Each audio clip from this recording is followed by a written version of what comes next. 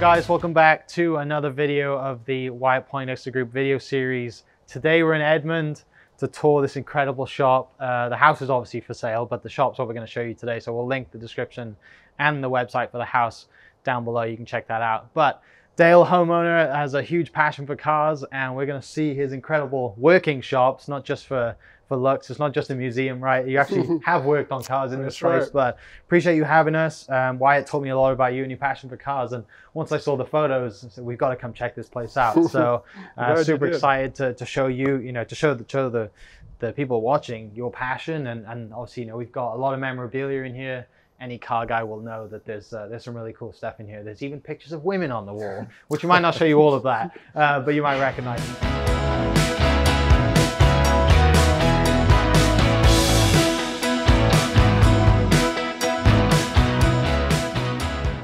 Us first where your passion for cars begins.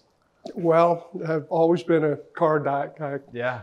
Ford, but all cars. And uh, always had a small garage to work out of and, mm-hmm. you know, cramped and so forth. So when we built this home, yeah. I wanted to plan this out a long time to have a place where I could work and, yeah. and uh, plenty of room, elbow room, and it turned out really well. Yeah. Uh, have you always been a Ford guy, or I mean, you, is there some Ford stuff in here? There's some Chevy stuff in here. I've had them all. Cars, cars in general. I've had them all, but cars in general. Yeah. yeah. What for you is that you know when someone says to you like, "What's your first kind of car? Your first car memory?" What comes to mind? Oh, you know, I your first car always. Yeah. Uh, an economical. Most people don't know what a Ford Maverick is, but yeah. that was my first uh, car, and I had a Ford Falcon and a lot of Fords early on, but yeah. Chevrolets and Pontiacs and all of that. Yeah. yeah. Was there a, like a, a, memory or a kind of event that happened that you, you kind of had like you know like got taken out in someone's car and the need for speed? Oh, abso- racing, absolutely. Like, I mean, yeah. in my hometown, we had an original Ford Cobra. Okay. And I watched it on racing on a track and. Uh, that's I think many people want that. You said you yeah I, I want one. one. Yeah, no doubt. So, I, don't, uh, I mean I don't have I don't have the money for a real one.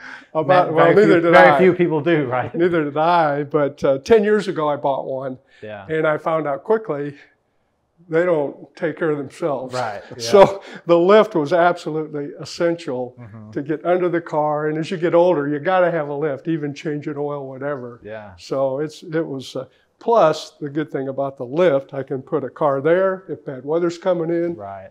Put the car here, lift it, put a car underneath. Oh, yeah. Yeah, yeah. And then, of course, the garage can easily fit two cars as well. So I could put five cars in the in the dry. And wife comes out and she's like, why do you have three cars? like, honey, I have room. They're not all mine, I promise. Right? That's right. Which is awesome. But, I mean, there's so many things in here that we can talk about. Photos on the wall, memorabilia you've collected over the years. Uh, I guess what what for you is like some of the pieces that really stand out that's like prized possessions that you're definitely taking with you? Um, well, you know, the neon, I yeah. kind of want that. I picked that out uh, slowly over time. All this accumulated like mm-hmm. anybody uh, over time. And, uh, you know, there's some, it's mixed with pictures and parts of um, what my about family. your first car over here? Oh, my first car, yeah. Thanks for reminding me. That's a that's a '57 model. yeah. I've got pictures uh, of me in it as a child, and my son, and now my granddaughter. That's awesome. So yeah, that's, so that's kind cool. of special. Yeah, but obviously you mentioned working shop. There's not just the lift. There's plenty of room, uh, you know, and other stuff in here. Yeah. So you could take a look inside. What you like when you built this, you knew that you were going to be working yeah. And built in, you know, built an extra little hangout in here, right? There's so That's much right. stuff we can this, talk about. This uh, is what I call the welding shop. Yeah. Uh, my father was a welder, and I do a lot of metal work, I should say. Yeah. So this was all pre-planned as a separate room, heated and cooled, even though the rest of the shop is is uh, ready for that yeah, too. Yeah. But we've got these these benches. These are from an old uh, school. Mm-hmm. Uh, we put these in and, uh, in the top, and of course, lots and lots of plug-ins. Yeah. And lots of lighting. So right. there's, I don't know, maybe a dozen switches for the lights and, uh, you know, plenty of power, 200 amp service. Yeah. So we're not going to run out. All the things from my past that I wanted to make sure I didn't run out. Air compressor, it's, you're not going to run out of air in this shop yeah, yeah. with air drops throughout. Yeah. And uh, Was yeah. this bench from Oklahoma or was it from Iowa? Well, the the actually the um, these are from Texas. Oh, The drawers, okay, from a high school lab, and then I put the we put the top on, um, you know, Built to it out, complete it. yeah.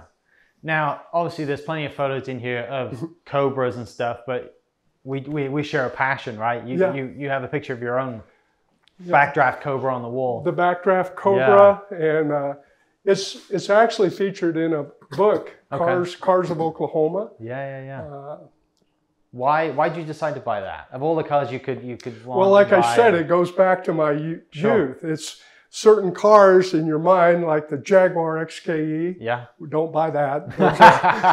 Hard, Yeah. hard to work on. unreliable British car. Unless you got a lot of money, don't buy that. Um, but that's just one of the dreams that I was able to uh, fulfill. Yeah, Yeah. scared you a little bit driving it, You know, it did a, a, a little bit, right? but they're very controllable. And uh, my Mustang, actually, I'm a little less comfortable in it. Than, Really? Yeah, it's a heavier car, and it was um, suited me well. Yeah. So so working in you know being kind of I guess this is like your getaway, right? You know you got to work every day, and and you know you come home and you'd have this space and spend so many times and, and memories in this space. Um, it's going to be probably sad to let it go, but I'm sure Well, the new house be- will have it's something going to be very big, sad. right? It's very sad. In fact, uh, we're moving to Washington. We plan to. That's why we're selling. Mm-hmm. Yeah. So much of this house we have our. This is our house, forever house. Mm-hmm. So I've already got a shop planned in Washington, and we've got a couple acres there, and Yeah. much of this will be duplicated there. Right. Do you have any pieces in here? I know you mentioned the neon earlier. Do you have any pieces in here that I know have a really cool story behind them, how you got them, why you have them, anything that stands out? Well, yeah, there's a few things. I mean, these are things that are of a personal nature. Yeah. That's my uh, driver's licenses from my grandparents. Yeah. And I, I've got over there, I've got hunting licenses from my grandparents and photos, family photos. Um, Didn't you say the Easy Rider poster was from yeah, that was a, above my bed growing up. Yeah. that was yeah, Peter re- real time when the movie was on. And, uh, you know, just things like Muhammad Ali in, in my era, old Yeah. guy Yeah. era. Uh, you know, Old kind license of a- plates. Old license plates. Uh, I got my first license plate in there, which was uh, a scary place to be when I was growing up.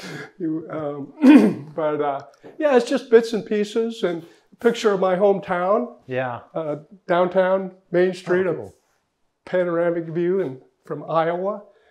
Uh, Who's this guy? that'd be me. Is that you? Yeah, I thought it was Patrick Swayze. I wish. Where was that taken? Uh, that was when I was in uh, an apartment in Dallas. Okay. Yeah, some time ago. Yeah. It's it always amazes me that, you know, people like yourself that, you know, like you collect things, right? And and a lot of so many of us over time, you know, we wish we had this. We wish we had the toys that we had as kids. We wish we had our bedroom poster. Like over the time you just kind of decided I'm going to collect everything and I'm I I mean, Yeah, just kind of kind of uh, grew into it, you Yeah. know. And in fact, the shop was pre-planned with switches, Mhm. uh, like you see here, for Yeah. neon. I knew I was going to put neon, so throughout I have Yeah. switches that put open up the plugs on the walls for the, for so the neon. awesome. I love it. I mean, as a, as a car guy and someone who sees a spot like this, and someone who you know would like like if I were to be in the market to buy a house, Yeah. you want to buy a house that already has a shop in it Yeah. that's ready to go, don't you? Well, and you know, like this bench. yeah. I ain't moving it. it's like This- yeah. 500 pounds. I took four neighbors to get it in here. yeah, Uh, but it's a if you metal work, right, it's just such a nice flat place to do welding and yeah. uh, things like that. So I know obviously the Cobra is a huge part of, of kind of your life, and and you, you know you owned a backdraft one, but other than an original Cobra, what I mean, what is the what is the dream car that you would have? You know, it's funny uh, as you get older, you move on, Yeah, maybe a little bit away from the classics and more stuff with warranty. yeah, something comfortable. Because these, these hands are getting a little Yeah. soft. Yeah. But uh, you know, I I don't know. Probably I've always I just got a Mustang that's still new to me, yeah, and uh, you know, I- Y- I yeah. really have. I've kind of gone through a lot of uh, Mhm. the stuff that I wanted to do. Cobra And, was probably it, wasn't it? Yeah. yeah, it was kind of Yeah. it because uh, just like um when I had a motorcycle, you know, once I got rid of it, I'm done. I had, I did that. Yeah, you went from one death trap to another death trap, right? Yeah, and I Yeah. survived You for the most survived it, for the most part. Yeah. yeah. Well, what what I know we've been in this side. What stuff have we missed on the outside? Yeah. Obviously, there's plenty of room that side to That's right. Mhm. We can we can go and check that out on the other side.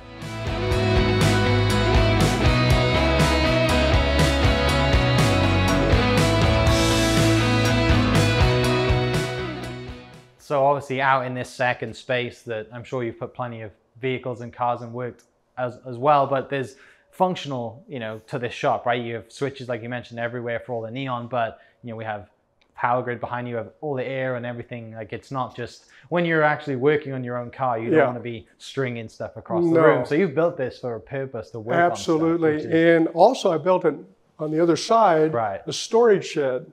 I didn't want my lawnmowers and my mowers and all that stuff. Yeah. I wanted up. this to be kind of a, a nice show place Uh-huh. and a functional place, but I didn't want it junked up. So I've got that on the other side. that on the other side. Yeah, yeah. You don't want the mow or anything next No, to your prized no. possessions, right? You're right. cleaning it in here, and That's you right. have dust and Oklahoma wind blowing grass everywhere, That's which right. is not good. But I'm, I'm trying to think of is there anything in here that like really pops to me? And obviously the Gulf is is so, so iconic, you know, and, and Route 66 stuff as well. Uh, why is there anything that stands out to you from like your childhood that you see and you think Speakers from drive-ins. speakers from drive, yeah. If you're in that era. Mine would probably be the same as Kennon's, and I don't know what he's going to say. It's the Star Wars over there, Star right? Wars, right? Yeah.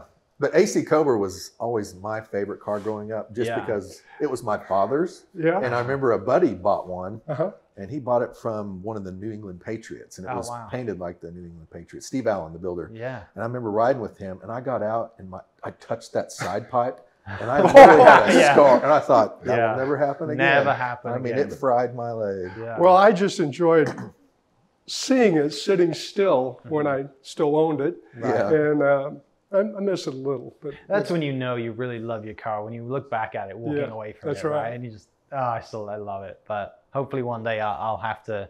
I'll, I'll send you a message when I get one because it's going to happen. I don't know how long I'll have one for, but I just have to take take that off the list. You have to plan to drive those because the top Right. is non-existent, right? That's right. Yeah, it's not a practical car. It's not a practical car. No, my wife's like, why didn't you buy one with a roof? And you you don't understand. Yeah. Uh, but no, I I appreciate you having us over to show us this awesome man My cave. pleasure. I- it is a man cave. I'm pretty proud you of this place. I enjoy showing it off, and people Yeah, that have me too. interest makes it uh, Oh, more no. fun for no, me. No doubt it is. And and like like we mentioned earlier, we'll put the links on the website to the listing so you guys can check out the rest of the house.